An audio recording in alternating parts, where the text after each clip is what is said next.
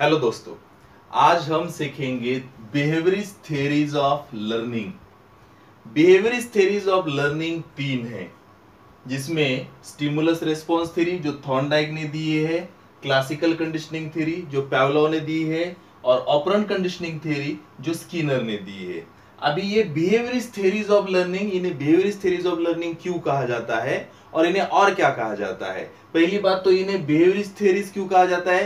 क्योंकि ये बेसिकली सिर्फ़ बिहेवियर के बारे में टॉक करते हैं कि हमारा जो लर्निंग बिहेवियर है, उसमें हमारा माइंड इन्वॉल्व नहीं रहता है, इसीलिए इन्हें कहा जाता है बिहेवियरिस्ट इसके बाद का जो सेकेंड स्टेज आया थेरीज ऑफ़ लर्निंग में, जो इनसाइट थ्योरी कहा जाता है इनसाइट थ्योरी में हमारा माइंड यानी थिंकिंग इन्वॉल्व रहता है इंटेलिजेंस इन्वॉल्व रहता है, इसलिए उसे कहा जाता है थ्योरीज ऑफ़ इनसाइट लर्निंग और तीसरा दौर आ जाता है जहाँ पे सोशो कल्चरल थ्योरीज होती तो ये बेसिक बिहेवियरिस्ट थ्योरीज है, जो सबसे पहले लर्निंग का डिस्क्रिप्शन किया था। लर्निंग कैसे होती है? लर्निंग होता है मतलब एग्जैक्टली exactly क्या होता है? ये एक सवाल हमेशा हमारे माइंड में आता है। वैसा ही सवाल साइकोलॉजिस्ट के माइंड में आया उस जमाने में अराउंड 1920s जहाँ पे सबसे पहले उसका आंसर देने का ट्राई किया वैटसन थॉर्नडाइक जैसे साइकोलॉजिस्ट ने। थॉर्नडाइक ने जो उसकी पहली थ्योरी रखी, जो थी स्टिमुलस रिस्पॉन्स थ्योरी इस थ्योरी को ट्रायल एंड एरर थ्योरी ऐसा भी कहा जाता है। अभी इस थ्योरी में थॉर्नडाइक ने उसने कहा कि हम लर्न करते हैं मतलब क्या करते हैं? स्टिमुलस और रेस्पॉन्स में बॉन्ड तैयार करते हैं कनेक्शन तैयार करते हैं। इसलिए इन थेरीज को कनेक्शनिस्ट थेरी भी कहा जाता है।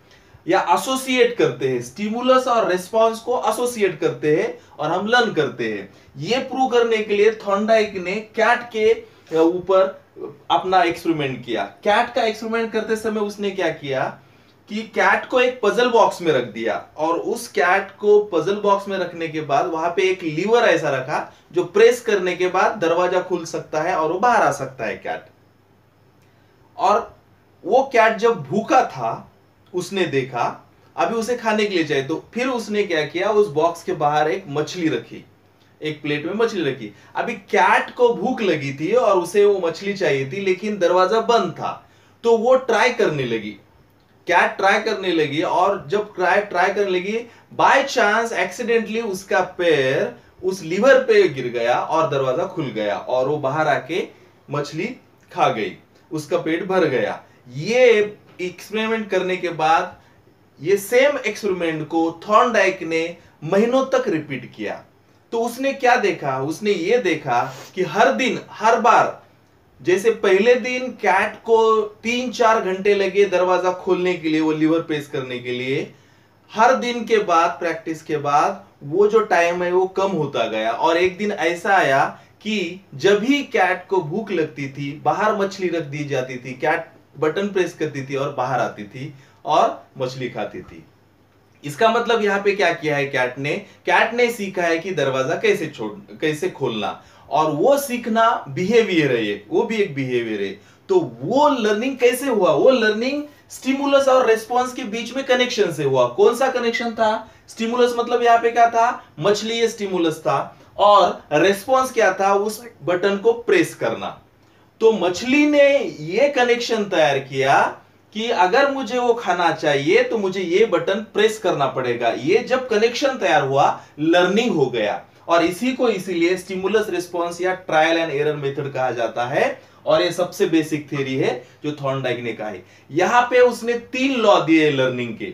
Law of readiness law of exercise and law of effect ये तीन लॉ में पहला लॉ क्या है? इस एक्सपेरिमेंट से उसने कहा कि जैसे कैट को उसने अगर भूखा नहीं रखा होता अगर कैट भूखी नहीं रहती तो कैट मछली भले ही बाहर है ज़्यादा ट्राई नहीं करती या ट्राई करती ही नहीं। मछली ने ट्राई कब किया? जब कैट भूखी थी जब जब कैट ने जब कब ट्राई किया? जब कैट भूखी थी। ज, तो इसका मतलब क्या है कि वो रेडी थी। अभी हमारे क्लास में स्टूडेंट्स कब आपके क्लास में ध्यान देंगे? कब लर्निंग होगा उनका? जब स्टूडेंट को उसकी नीड होगी इसीलिए टीचर ने हमेशा क्लास में बिगिनिंग में इंट्रोडक्शन देना चाहिए। न्यू लेसन जैसे वो स्टार्ट कर रहा है इंट्रोडक्शन करना है। इंट्रोडक्शन करते तो हम क्या करते हैं? स्टूडेंट को प्रिपेयर करते हैं टू लर्न उनकी नीड तैयार करते हैं। तो इसीलिए इस पहले लॉ को बोला जाता है लॉ ऑफ़ रेडीनेस जो आज भी हम इंप्लीमेंट uh, करते हैं हमारे टीचिंग लर्निंग प्रोसेस में। दूसरा लॉ उसने जो दिया वो है law of exercise law of exercise क्या है? कि अगर थॉर्नडाइक ने एक ही दिन कैट को अंदर रखा होता और एक ही दिन मछली बाहर रखी होती तो वो नहीं सीख पाता। उसे एक्सरसाइज रोज वो करना ज़रूरी था। इसे बोला जाता है एक्सरसाइज या प्रैक्टिस लॉ ऑफ़ प्रैक्टिस हमें अगर लर्निंग करनी है, हमें अगर क्रिकेटर अच्छा बनना है तो हमें रोज प्रैक्टिस करनी पड़ेगी। हमें अगर साइकिल सीखनी है तो हमें रोज प्रैक्टिस करनी पड़ेगी। अब पहले दिन गलतियाँ ज़्यादा होगी, दूसरे दिन कम होगी, तीसरे दिन कम होगी, और ऐसे करते करते हम एक दिन सीखेंगे। इसीलिए दूसरा लॉ इस थ्योरी से निकलता है वो है लॉ ऑफ़ प्रैक्टिस और एक्सरसाइज तीसरा लॉ जो है, वो है लॉ ऑफ़ इफ़ेक्ट और वो, ये बहुत इंटरेस्टिंग है. अगर समझो कैट अंदर बंद है, उसको भूख लगी है, बाहर मछली रखी है, और जैसे कैट ने दरवाज़ा बटन प्रेस किया, वह जैसे वो बाहर आई खाने के लिए, और उसके सामने से मछली लेके हम भाग गए। तो ऑब्वियसली और ये ऐसा रोज हम करते रहे, जैसे कैट बाहर आ रही है, मछली ले लिया वापस। जैसे कैट बाहर आ रही है, मछली ले लिया वापस। नेक्स्ट टाइम कैट जो है, वो बाहर आएगी नहीं। उसको पता है कि हम, मैं अगर बाहर आती हूँ तो मुझे मछली मिलती नहीं। इसका मतलब क्या है कि जब कोई प्रयास करता है ट्राई करता है, और वो एक्शन को स्ट्रेंथन करने के लिए, उसका, उसको रिवार्ड मिलना ज़रूरी है। मछली के रूप में उस कैट को रिवॉर्ड मिलता था इसीलिए वो उसमें एनकरेज होती गई और वो एक्ट दोहराती गई। इसे बोला जाता है लॉ ऑफ़ इफ़ेक्ट कि मैंने ये करने के बाद मुझे क्या मिलेगा? इसलिए क्लास में हमेशा very good nice very nice इस तरह के रेस्पॉन्सेस बच्चों को देना ज़रूरी है जो हम इस थ्योरी से सीखते हैं। अभी ये थ्योरी है स्टिमुलस रिस्पॉन्स थॉर्नडाइक की जिसने कैट पे कैट के ऊपर एक्सपेरिमेंट uh, किया। दूसरा थ्योरी है क्लासिकल कंडीशनिंग ये थ्योरी पैवलाव का है. पावलाव इसको पावलाव रशिया में हम पावलाव या पावलाव बोल सकते हैं. रशियन साइकोलॉजिस्ट था. इसने डॉग पे एक्सपेरिमेंट किया और स्टिमुलस रेस्पॉन्स जो बेसिक थियरी है, इसको थोड़ा अपग्रेड किया. और अपग्रेड करने के बाद उसने क्या किया? उसमें उसको, उसने बोला कि जो स्टिमुलस रेस्पॉन्स है, वो बहुत ही बेसिक है, लेकिन ऐसा नहीं लर्निंग होता है. हम कंडीशनिंग से लर्न करते हैं. कंडीशनिंग मतलब क्या? कि हमें कंडीशन किया जाता है। कंडीशन करना मतलब क्या? आर्टिफिशियली हमें ट्रेन करना ट्रेनिंग देना। हम ट्रेन करते हैं। लेकिन वो ट्रेनिंग देते समय हम स्टिमुलस और रेस्पॉन्स में बॉन्ड नहीं करते हैं। तो हम बहुत बार क्या करते हैं? कंडीशनिंग से एक स्टिमुलस और दूसरा स्टिमुलस इस दोनों में हम बॉन्ड तैयार करते हैं। इसके लिए उसने क्या किया था? मतलब एक है आपका नेचुरल स्टिमुलस दूसरा है आपका आर्टिफिशियल स्टिमुलस ठीक है? नेचुरल स्टिमुलस फ़ूड और आर्टिफिशियल स्टिमुलस जो है, वो है आपका बेल। और ये ये ये इसने डॉग के प्रयोग में एक्सपेरिमेंट में उसने यूज़ किया। डॉग को उसने क्या कर दिया? उसने एक डॉग का एक बॉक्स बनाया जहाँ पे डॉग को टाइट बाँध के रखा और उसको सलाइवा जो है बाहर आ जाए और कलेक्ट हो जाए ऐसा सिस्टम किया, जिससे पता चले कि उसका सलाइवा सीक्रेट हो रहा है। बाहर उसने आगे फ़ूड रखा। पहले क्या किया गया? उसको फ़ूड दिखाया गया, उसका सिलाइवा जो है उसका सीक्रेट हुआ। नेचुरल फ़ूड क्या हो गया उसका? नेचुरल स्टिमुलस हो गया और उसको रेस्पॉन्स क्या मिला? नेचुरल रेस्पॉन्स मिला सलाइवा के रूप में। उसके बाद उसने क्या किया? सिर्फ़ बेल बजाया। सिर्फ़ बेल बजाया। बेल को उसने सिर्फ़ उसके, उसने कान तो ये करना या थोड़ा मूवमेंट करना, ये किया, लेकिन सलाइवा सीक्रेट नहीं हुआ। इसका मतलब वो रेस्पॉन्स नहीं था। तो वहाँ पे बेल बजना क्या था? वो आर्टिफिशियल स्टिमुलस था। बेल को कोई रेस्पॉन्स ही नहीं था। कैसे होगा? क्योंकि उसको ट्रेनिंग ही नहीं मिला। लेकिन ट्रेनिंग के बाद ऐसा किया तो ट्रेनिंग में उसने क्या किया? नेचुरल स्टिमुलस जो फ़ूड था और बेल था, उसने क्या किया? बेल बजाया। जैसे बेल बजा, उसी समय उसको खाना देने लगा। बेल बजाना और खाना देना साथ में करते गया।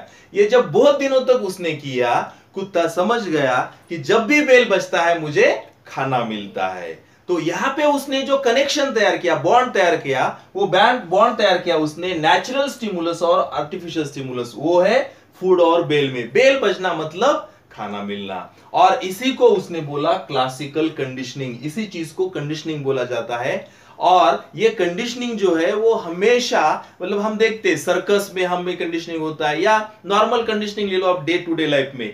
आप डॉक्टर के पास जाने के लिए बहुत से लोग घबराते हैं। क्यों घबराते हैं? क्योंकि उनका कंडीशनिंग हो गया है। डॉक्टर मतलब इंजेक्शन तो बहुत से लोग भले ही वो डॉक्टर इंजेक्शन ना दे रहा हो तो भी हॉस्पिटल में जाने के लिए घबराते हैं, क्योंकि उनके माइंड में कंडीशनिंग हो गया है कि डॉक्टर मतलब क्या?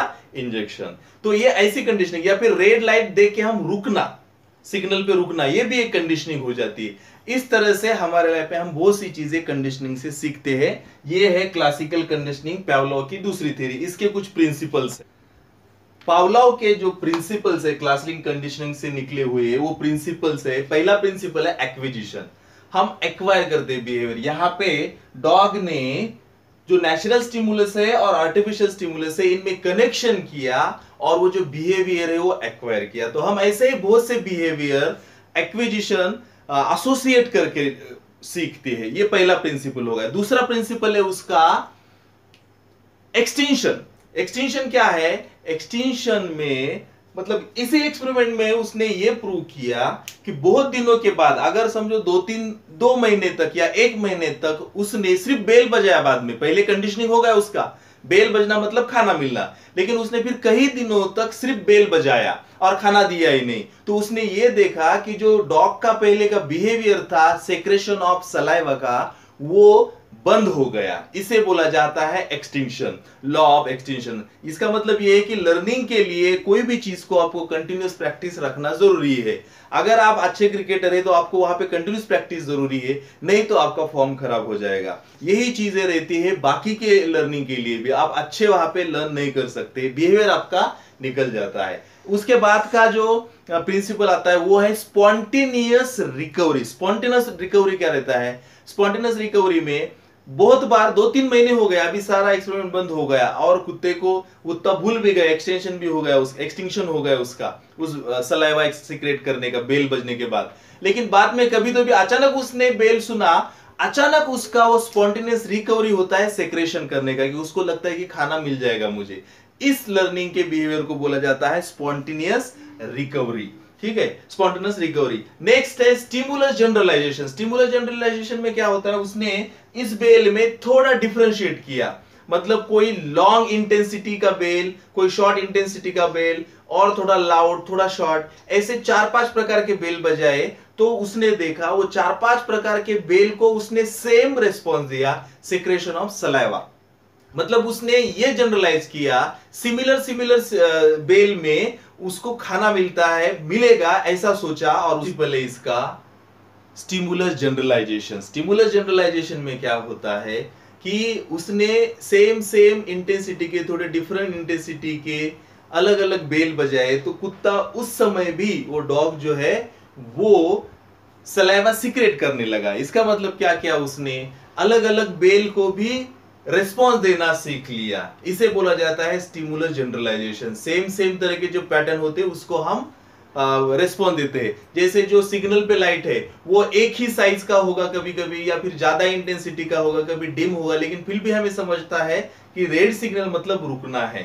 तो ये जनरलाइजेशन बोला जाता है। उसके बाद आता है स्टिमुलस डिस्क्रिमिनेशन भले ही बेल में अलग अलग इंटेंसिटी अलग अलग लाउडनेस में उसने पहचान लिया। लेकिन जो स्कूल का बेल है और कोई गाड़ी का हॉर्न है, ये दो अगर साथ में बजाए तो उसको, उसने ये समझ लिया कि गाड़ी का जैसे हॉर्न का जैसा अगर बेल बजता है तो खाना नहीं मिलता है। मुझे जब स्कूल के जैसा बेल बजता है, तभी खाना मिलेगा। इसे बोला जाता है स्टिमुलस डिस्क्रिमिनेशन तो इस तरह से हमने यहाँ पे देखा कि क्लासिकल कंडीशनिंग में पैवलॉव डॉग के साथ एक्सपेरिमेंट करने के बाद उसे पता चला कि किस तरह से फ़ूड और बेल का एसोसिएशन करके स्टिमुलस आर्टिफिशियल स्टिमुलस और नेचुरल स्टिमुलस का कनेक्शन करके उसका लर्निंग हुआ है। तीसरा थ्योरी है ऑपरन कंडीशनिंग ऑपरन कंडीशनिंग और ये जो दो थ्योरीज है स्टिमुलस रिस्पांस और क्लासिक कंडीशनिंग इसमें बहुत सारा फ़र्क है बेसिक फ़र्क है। ये बेसिक फ़र्क क्या है कि ये दोनों थेरीज में और थॉन्डाइक दोनों कहते हैं कि जब तक स्टिमुलस नहीं, तब तक रेस्पॉन्स नहीं। स्टिमुलस चाहिए ही रेस्पॉन्स के लिए, लेकिन स्कीनर बोला है कि हम जो है ह्यूमन बींग जो है we are not slave of stimulus हम खुद से रेस्पॉन्स देते हैं और यहाँ पे ये डिफर करता है इसका कहना है कि स्टिमुलस ज़रूरी नहीं है रेस्पॉन्स के लिए। नहीं तो हम जब तक स्टिमुलस नहीं, तब तक हम कुछ सीख ही नहीं पाएँगे। लेकिन ऐसा हमारे साथ नहीं होता है। बहुत बार बिना स्टिमुलस के भी हम सीखते हैं और ये प्रूव करने के लिए उसने ये थ्योरी रखा है, जिसको उसने ऑपरेंट कंडीशनिंग बोला। क्यों बोला ऑपरेंट कंडीशनिंग क्योंकि यहाँ पे जो हम है ऑपरेंट ऑपरेटर वो इंपॉर्टेंट है। हम खुद डिसाइड करते हैं स्टिमुलस चूज़ करते हैं, उसको रिस्पॉन्स करना है या नहीं करना है डिसाइड करते हैं। इसलिए उसको ऑपरेंट कंडीशनिंग बोला गया है, जो दोनों बेसिक स्टिमुलस थ्योरी से डिफर करता है। इसने क्या किया, ये प्रूव करने के लिए? रैट और पीजन के ऊपर एक्सपेरिमेंट किया। रैट को उसने एक पजल बॉक्स में बंद किया। ये साउंड प्रूफ था, और उसको कुछ दिखता भी नहीं था रैट को। जैसे यहाँ पे डॉग को दिखता तो नहीं था, लेकिन उसको साउंड पता चलता था। तो साउंड से वो रिस्पॉन्स पहचानने लगा। लेकिन यहाँ पे रैट साउंड प्रूफ बॉक्स में बंद है, उसको दिखता भी नहीं है। अभी यहाँ पे इसका मतलब क्या है कि उसको स्टिमुलस का सवाल ही नहीं, कोई स्टिमुलस ही नहीं है। लेकिन उसने कंडीशन ऐसा किया है कि वहाँ पे एक पैलेट है जो जिसको बटन को प्रेस कर कर दिया तो उसको थोड़ा सा फ़ूड अंदर ही मिल जाता था। अभी चूहा जब भूखा हो गया, वो घूमने लगा इधर उधर और उसका पैर उस लीवर के ऊपर पड़ गया। और उसको थोड़ा सा फ़ूड उसको इनसाइड मिल गया। तो ये यहाँ पे स्टिमुलस तो नहीं था। क्या था यहाँ पे डायरेक्ट पहले? बटन प्रेस करना आया। इसका मतलब रेस्पॉन्स पहले आया। उस रेस्पॉन्स को री मिला फ़ूड से। और इस रेस्पॉन्स को और वो फ़ूड को इसने कनेक्शन किया रैट ने रैट ने कि अगर मुझे, मैंने इस तरह से रेस्पॉन्स दिया तो मुझे ये रिवार्ड मिलेगा। और वही उसका स्टिमुलस बन जाता है नेक्स्ट रेस्पॉन्स के लिए। इसीलिए यहाँ पे जो कनेक्शन है बॉन्ड है, वो है रेस्पॉन्स प्लस री इसमें जो हम रिवार्ड मिल, देते हैं उसको, उस दोनों को कनेक्शन करता है और वो कनेक्शन करके वो सीखता है कि हमने अगर प्रॉपर रिस्पॉन्स दिया तो मुझे उसका रिवार्ड कुछ तो भी मिलेगा। और इसलिए वो बटन प्रेस करना सीख जाता है। इसका बहुत अच्छा एग्ज़ाम्पल एक पीजन का है। पीजन एट एट का जो शेप रहता है, उस एट के शेप पे चलने के लिए उसने पीजन को सिखाया। ये जैसे एट का शेप है फॉर एग्ज़ाम्पल अब यहाँ पे पीजन को चलना सिखाना है। कैसे चलेगा? वो, इसको तो हम यहाँ पे खाना दिया समझो। यहाँ पे खाना डाला, यहाँ पे डाला तो ये चल जाएगा। लेकिन उसका मतलब क्या है कि पहले हमने स्टिमुलस दिया है। तो स्टिमुलस नहीं देना है। बिना स्टिमुलस दिए उसने एट के ऊपर पिजन को चलाना सिखाया और कैसे किया? यहाँ पे पिजन है, यहाँ पे पिजन है तो उसने क्या, अगर पिजन ने राइट डायरेक्शन में एक स्टेप डाल दिया तो उसको वहाँ पे वो फ़ूड देता था। पहले राइट स्टेप फिर फ़ूड फिर दूसरा राइट स्टेप फिर फ़ूड ऐसा करते करते वो जो पीजन है, इस एट के शेप पे चलने लगा। और क्योंकि उसको फ़ूड चाहिए था, जैसे वो स्टेप डालेगा, उसको फ़ूड मिलता था। तो इसका मतलब क्या, कि हम रेस्पॉन्ड करते हैं बहुत बार पहले और उसको हमको जो रिवॉर्ड मिलता है, उसके कनेक्शन के साथ हम बहुत सी चीज़ें जो है तो सीखते हैं। अभी इसके जो प्रिंसिपल्स है, वो कौन से है? इसके प्रिंसिपल जो है, वो है पहला प्रिंसिपल री री मतलब क्या? कि अगर हमने प्रॉपर इन्फोर्समेंट नहीं दिया पॉजिटिव और निगेटिव इन्फोर्समेंट भी रहते हैं मतलब रैट को ही उसने एक दिन क्या किया? एक लीवर ऐसा एक रखा, दो लीवर रखे, जिसमें से एक लीवर को अगर प्रेस किया तो उसको फ़ूड मिलता था, दूसरा प्रेस किया तो उसको शॉक मिलता था। तो वहाँ पे एक्चुअली वो एक्सटेंशन होता गया बिहेवियर शॉक के वजह से वो कोई भी लीवर दबाना छोड़ दिया है। इसलिए पनिशमेंट जो है, हमने स्टूडेंट को अवॉइड करनी चाहिए। Reinforcement, proper positive reinforcement is very important for learning, he says दूसरा जो इसका कंडीशन दूसरा जो प्रिंसिपल है, वो है शेपिंग एंड चेनिंग यहाँ पे जो ये छोटे छोटे ऐसे स्टेप्स है, इसको वो बोलता है शेपिंग एंड चेनिंग हम लर्निंग के लिए छोटे छोटे एक्टिविटी छोटे छोटे ग्रुप जैसे एक एक एक्टिविटी है, दूसरा एक्टिविटी तीसरा है, और ऐसे तीनों को कनेक्ट करते करते हम चीज़ें डिटेल में समझते हैं। जैसे लेसन है लेसन का एक पैराग्राफ पढ़ा, दूसरा पढ़ा, तीसरा पढ़ा, चौथा पढ़ा, जब पूरा लेसन पढ़ते हैं, तब जाके हमें समझता है। तो इसे बोला जाता है शेपिंग एंड चेनिंग जहाँ पे इसने पीजन को एट के शेप पे चलने के लिए सिखाया, इसको शेपिंग किया और चेनिंग भी किया। शेपिंग चेनिंग किस चीज़ का चेनिंग किया? फ़र्स्ट फ़र्स्ट रिस्पॉन्स उसको री मिला, उसके बाद और एक रिस्पॉन्स मिला। फिर उसको री इस तरह से चेनिंग करते करते हम चीज़ें बहुत बार सीखते हैं। तो ये जो प्रिंसिपल उसके बाद जो दूसरे प्रिंसिपल है, वो सेम है, जो पावलाओ ने बोले गए तो यहाँ पे हमने बेसिकली देखा कि theories behaviourist theories of learning जो तीन बेसिक थ्योरीज है, वो मैंने बोला स्टिमुलस रिस्पॉन्स क्लासिकल कंडीशनिंग और ऑपरंट कंडीशनिंग थ्योरी तो ये तीनों थ्योरी बुनियादी थ्योरी है। इसके बाद इनसाइट थ्योरी है क्योंकि ये बिहेवियरिस्ट थ्योरी जो है, हमें बोलती है कि इंसान स्टिमुलस और रेस्पॉन्स सीखता है, लेकिन नॉर्मली ये सर्कस के एनिमल में ऐसा सीखा जाता है। हाँ एक बात यहाँ पे ऑपरन कंडीशनिंग से जो अभी जो लेटेस्ट लर्निंग है, वो प्रोग्राम लर्निंग इसी से इन्वेंट हुआ ओरिजिन हुआ है प्रोग्राम लर्निंग जैसे कंप्यूटर में हम अगर कुछ कोर्स कर रहे हैं और कंप्यूटर जनरेटेड वो कोर्स है तो वहाँ पे आपको प्रोग्राम लर्निंग रहता है। एक एक यूनिट कंप्लीट किया, आपने उसके जवाब दिया आंसर्स के जवाब दिया आप दूसरे यूनिट पे गए, फिर तीसरे, फिर चौथे। और चौथे पे अगर रुक गए, वहाँ पे कुछ गलत हो गया तो फिर से तीसरे पे आना पड़ता है, सीखना पड़ता है। ये प्रोग्राम लर्निंग का जो ओरिजिन है, वो स्कीनर के ऑपरन कंडीशनिंग में है। और ये इस तरह से सवाल वहाँ पे आ सकते हैं। ये बिहेवियर थ्योरी है, यहाँ पे स्टिमुलस और रिस्पॉन्स में कनेक्शन बोला गया है, लेकिन उसके बाद, कुछ दिनों के बाद, कुछ सालों के बाद इनसाइड थेरीज आई कोलर कोफका ब्रूनर ऑसुबेल इन्होंने कहा कि लर्निंग में सिर्फ़ स्टिमुलस और रेस्पॉन्स नहीं होता है।